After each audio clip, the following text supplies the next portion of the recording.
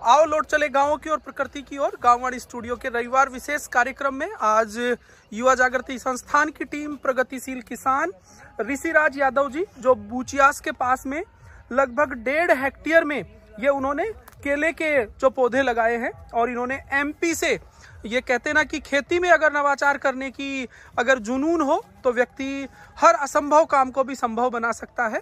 इसी प्रकार के प्रगतिशील किसान ऋषिराज यादव जी के फार्म हाउस पर हम यहाँ पर हैं और उन्होंने, आप देखो, यहाँ एक नवाचार करते हुए उन्होंने बानसूर का पहला, ये ऐसा एक नवाचार उन्होंने किया है और वो प्रगतिशील किसान के रूप में, युवा जागृति किसान क्लब में जुड़े हुए हैं और साथ में उन्होंने नवाचार करते हुए और ये एक प्रगतिशील किसान के तौर पर एक पहला, एक नया नवाचार इन्होंने यहाँ स्थापित किया है। आप देख रहे हैं कि दूर दूर चारों तरफ़ की जो बाउंड्री है उसके ऊपर उन्होंने नेपिरियर घास को लगाया है, जो ना सिर्फ़ इसे हवा के वेग से बचाने का काम करेगा, साथ में ये जो अंदर जो पौधे हैं, उनकी सुरक्षा के लिए भी ये उपयोगी है। तो इसी प्रकार का एक ये जो नवाचार करते हुए इन्होंने अपने फार्म हाउस पर लगभग डेढ़ हेक्टेयर भूमि में, यानी तकरीबन साढ़े पाँच बीघा ज़मीन के अंदर ऋषिराज जी ने ये नवाचार किया है।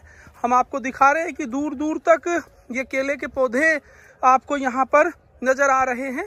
इन्होंने इसे ड्रिप इरीगेशन के साथ में कम पानी में और अच्छा उत्पादन और एक अच्छी उपज प्राप्त करने के लिए ये नवाचार किया है।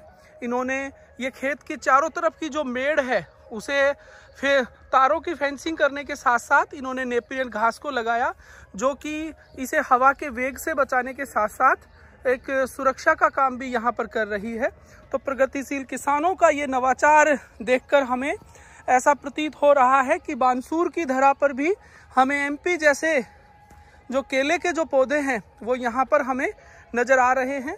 और ज़्यादा समय ना हुआ इसे लेकिन फिर भी अच्छी प्रगति ये पौधे ऊपर की ओर कर रहे हैं। तो इसी प्रकार के नवाचार को हम ऋषिराज जी के मुँह से भी सुनेंगे कि उन्होंने किस प्रकार इस नवाचार को किया उन्हें यह प्रेरणा कहाँ से मिली? तो हम प्रगतिशील किसान ऋषिराज जी का स्वागत करते हैं। नमस्कार ऋषिराज जी, जी हम जानना चाहेंगे कि ये जो खेती में जो आपने नवाचार किया है इसकी प्रेरणा कैसे मिली? आपने डेढ़ हेक्टेयर भूमि में एक काफ़ी अच्छा एक नवाचार आपने यहाँ स्थापित किया है। कितने पौधे लगभग आपने यहाँ लगाए हैं और कहाँ से खरीदे? ऋषिराज जी। जी। मैंने ये पौधे एमपी से खरीदे हैं और किसान पाठशाला के ज़रिए ओके। हमने हाँ किसान पाठशाला के ज़रिए खरीदे हैं। उन्हीं की गाइडलाइन के अनुसार ये लगाए हैं। तो आपको ये नवाचार करने की प्रेरणा किस प्रकार आई और आप क्या सोच रहे हैं कि ये आने वाले एक से दो साल में आपको ये जो साढ़े पाँच बीघा में जो आपने ये लगभग डेढ़ हेक्टेयर में आपने ये केले के पौधे लगाए लगभग कितनी दूरी पर कितने पौधे आपने लगाए हैं? ये मतलब क्या है इसमें जैसे परंपरागत कृषि करते आ रहे हैं हम तो उसमें खर्चा अधिक हो रहा है और उत्पादन भी कम हो रहा है। बिल्कुल। इसलिए हम कम खर्च में अधिक उत्पादन कैसे प्राप्त कर सकते हैं बिल्कुल। इसके लिए हमने नई क्रॉप एक निजात मतलब, की है हाँ, यहाँ पर है। इंट्रोड्यूस की है आपने। और ये सोचकर की है कि ऐसी कौन सी फ़सल है जो बारह महीने चलती है। ओके। तो हमने केले को ही चुना कि ये बारह महीने लगाया जाता है और बारह महीने इसकी बिक्री होती है। बिल्कुल। केवल एक ऐसा ही ये फल है जो बारह महीने ठेली पर टिका रहता है। बिल्कुल सही कहा आपने। तो इसमें आपने मल्टी क्रॉपिंग को भी चुना है नीचे हाँ, आपने हाँ, हाँ, टमाटर हाँ, और हमने हाँ, देखा कि आपने मूली भी लगा हाँ, रखी मूली है। भी लगाई है। मैंने इसमें एक बीघा में मूली लगाई है जिसमें मैंने चालीस हज़ार की तो मूली बेच दी इसमें। बहुत बढ़िया। देखो आपने सुना कि मात्र ऊपर की ओर पेड़ बढ़ रहे हैं और इन्होंने बताया ऋषि राज जी ने कि चालीस हज़ार रुपए की इन्होंने मूली अपने खेत से बेची है और इधर टमाटर। में इंटरक्रॉपिंग के लिए टमाटर लगाया है जो कि शुरुआती चरण है चल रहे हैं अब। बिल्कुल ये टमाटर भी हमने देखे हैं कि पूरा शुरुआती चरण में है। अब हम ये जानना चाहेंगे कि लगभग कितने पौधे आपने यहाँ पर लगाए हैं सर? मैंने ये तीन हज़ार पौधे लगाए हैं। तीन हज़ार पौधे हाँ, आपने लगाए हैं। हाँ, तो लाइन से लाइन इनकी पाँच फुट है और पौधे से पौधे नौ फीट जिग जैक पर है। ओके जिग जैक प्रणाली के अकॉर्डिंग आपने हाँ। इसको पूरा मेज़रमेंट के अकॉर्डिंग कंप्लीट पूरा का पूरा प्लांटेशन किया है। तो मार्केट लिंकेज वगैरह के लिए किस तरीके से आप कृषि पाठशाला से हाँ। टाइप है या कैसे? किसान पाठशाला अगर वो लेना चाहेगी तो वो उसे भी दे सकते हैं या फिर हम स्वयं भी अपने मंडी भाव के अनुसार कर सकते हैं। तो उनकी देखरेख लगभग क्या रही? किस तरीके से उन्होंने आपको मदद उनकी की? सिर्फ़ गाइडलाइन है और गाइडलाइन के अनुसार उनका शेड्यूल आता है। ओके उसके अनुसार चलना पड़ता है। तो इनमें कोई कीटनाशक दवाइयाँ हाँ, इस तरह का कुछ तो मतलब नहीं रहता है? ज़्यादा कीटनाशक आते नहीं है। ओके इसमें एक आता है जैसे फंगस आ गई या सीएम सीएमवी वायरस आ गया ये आते हैं इसके।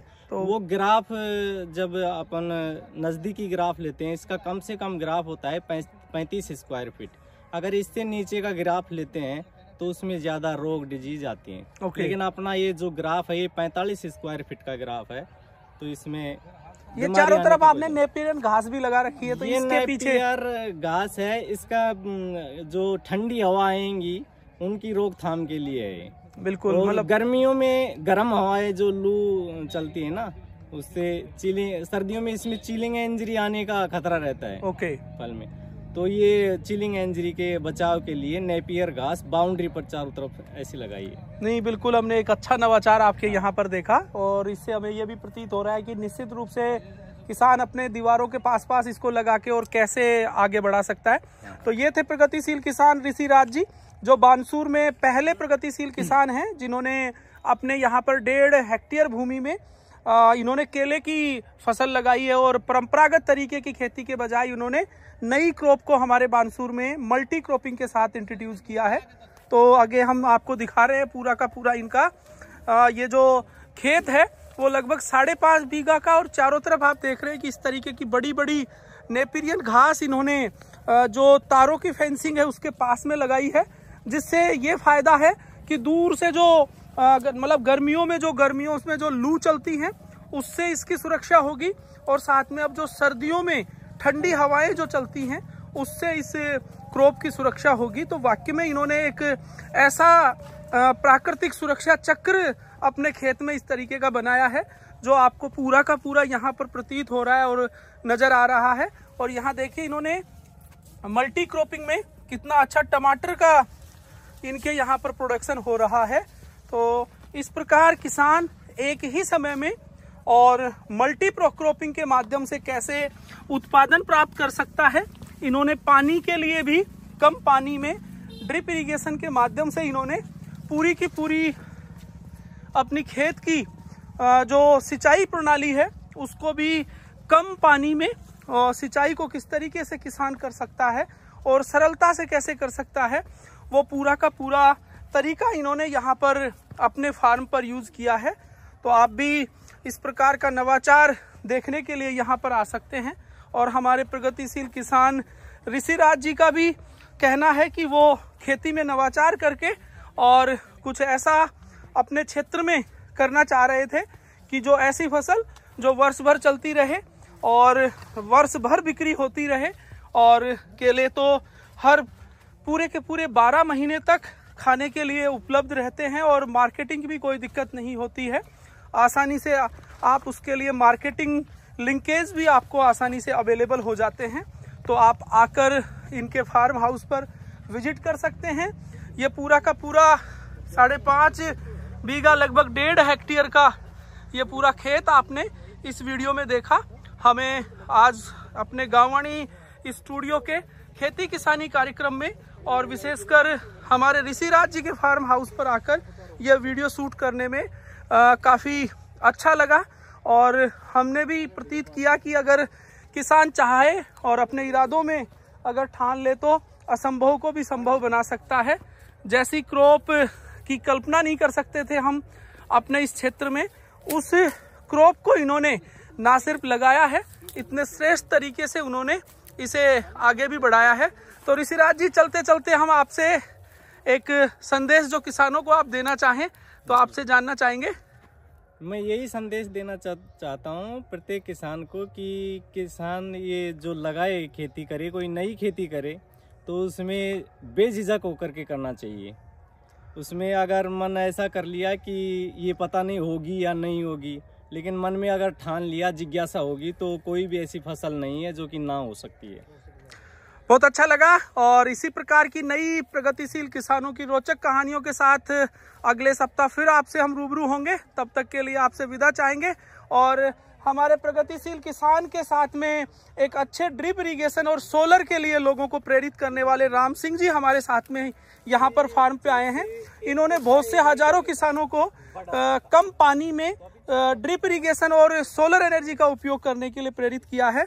तो हम राम सिंह जी नमस्कार। नमस्कार और हमारे गांववाणी स्टूडियो के चैनल पे आपका स्वागत है। और हम जानना चाहेंगे कि सर यहाँ पर बहुत अच्छा ऋषि राज जी ने ये सेटअप बनाया हुआ है और आपने इनको ड्रिप इरीगेशन का बहुत अच्छा स्ट्रक्चर यूज़ में इनको दिया है। तो मैं जानना चाहूँगा कि इसको देखकर आप क्या संदेश देना चाहेंगे फार्मर्स को? जी, हमने हमने अपने भाई को पहले केलों के बारे में ट्रेनिंग करवाई, दिखाया इनको, जहाँ जहाँ चाहे जब भेजा भेजा, के बाद जहाँ का देखो, देख देख, दा करके इन्होंने, और अच्छी तरह से इन्होंने पालन पोषण किया इसका, और हमें भी खुशी हुई। हमने इसमें ड्रिप लगा करके, पानी की कमी को देखते हुए, हमने सारे पे ड्रिप लगा करके अच्छा काम किया है हमने, और इसने जितनी मेहनत की है, हमें बहुत खुशी है, और हम इसको हमेशा प्रेरणा देते रहेंगे और उठाता रहेगा इसको।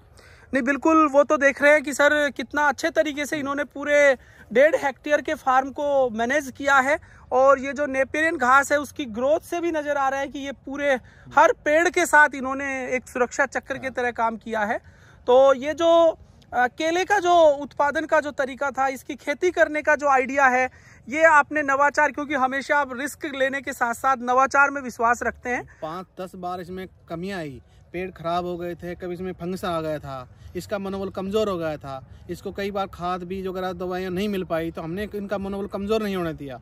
हमने चाहा कि जितना हो सके आप मनोबल रखो सौ परसेंट आपका सक्सेस होगा सौ परसेंट आपका सक्सेस होगा इसने सक्सेस करके दिखा दिया हमें। बिल्कुल। हाँ और अब हमें भी एहसास हो गई कि हमें अच्छी प्रोग्रेस मिलेगी इसमें। नहीं निश्चित रूप से सर जिस तरीके से आपने ये मेहनत की है और तीन हज़ार के लगभग इन्होंने बताया कि। यहाँ केले के पौधे लगाए हैं। तो वाक्य में आने वाले एक साल में अच्छा प्रोडक्शन इस हाँ। फार्म से होने की उम्मीद है। फ़र्स्ट में ग्यारह महीने में आ जाएगा बहुत बढ़िया। फ़र्स्ट ग्यारह महीने आएगा। जो सेकंड इसका आएगा वो नौ महीने आठ या नौ महीने के अंदर चल हो जाएगा। बहुत बढ़िया सर। अच्छा लगा। और कोई विशेष बात जो हमारे इस वीडियो के माध्यम से आप लोगों तक पहुंचाना चाहें? तो हम तो ये कहते हैं कभी किसान मेहनत करने वाला कभी निष्फल नहीं होता।